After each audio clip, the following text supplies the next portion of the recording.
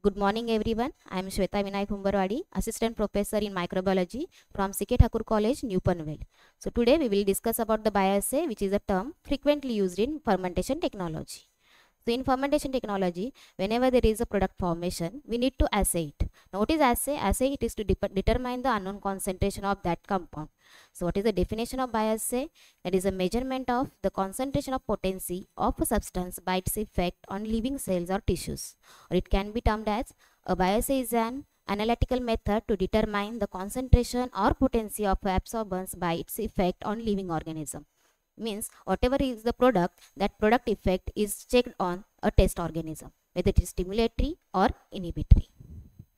What is the principle behind this uh, the microbiological assay is based upon a comparison of the inhibition or exhibition of growth of microorganism by measured concentration of the compound to be examined with that produced by a known concentration of a standard preparation of the compound having a known activity. So here is the comparison between the standard compound and our produced compound.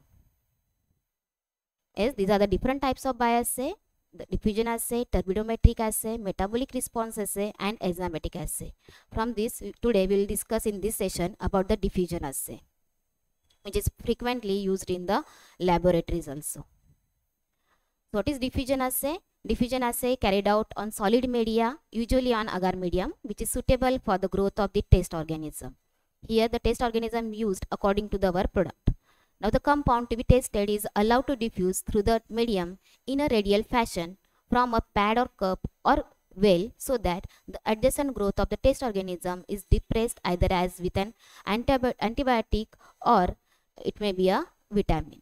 In antibiotic, we can say there is an in, inhibition zone as antibiotic is an antimicrobial agent which uh, inhibits the growth of microorganism and in case of vitamin, we can see the zone of exhibition where the vitamin is acting as a, a growth factor. So the zone of diameters of the standard plotted against the logarithms of the concentration used and the linear portion of this graph used for the determination of the actual concentration of the sample which is to be assayed. Yes, here we can use two methods.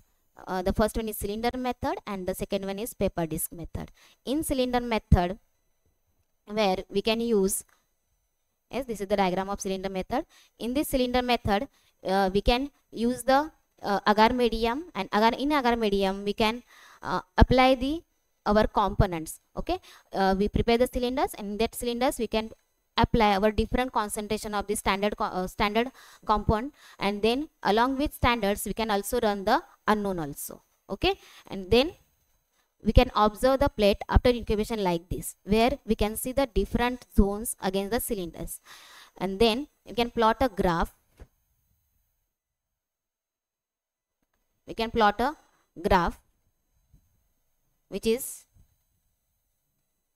on x-axis concentration of our compound that is standard compound. And on y-axis we can use the zone of diameter in mm okay? The zone here we are applying antimicrobial agent. So you can observe here the zone of inhibition. Then you will uh, can plot a graph which is straight line. And then determine the unknown concentration the uh, uh, diameter of unknown against this graph. Yes? So this is the simple method where we can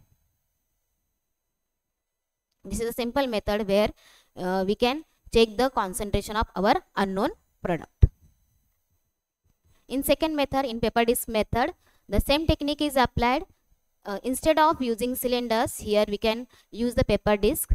Uh, a known diameter that is 12.8 millimeter, is the standard size of the paper disc, is dipped in different concentrations of the standard compound, and uh, some paper disc will be dipped into the unknown compound also. And these paper discs were applied on the agar medium.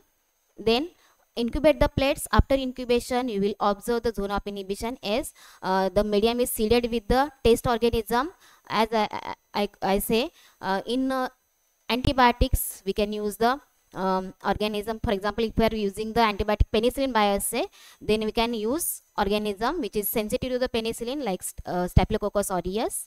And in vitamin assay we can use the E. coli Davis Here you can say the paper disc method diagram where the plate shows again a zone of inhibition as here we are uh, using the antibiotic or we can say the antibiotic here. So zone of inhibition is observed over here.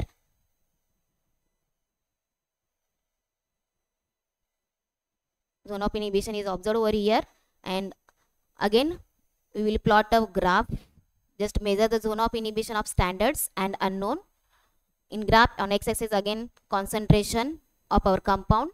On y-axis again there is a uh, zone of diameter in mm then plot a straight line graph and determine the unknown concentration of your product.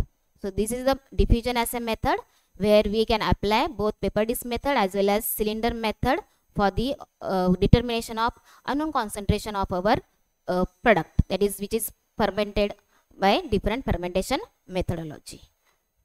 So in next slide we will observe the uh, we will study about the different methods of the bioassay thank you very much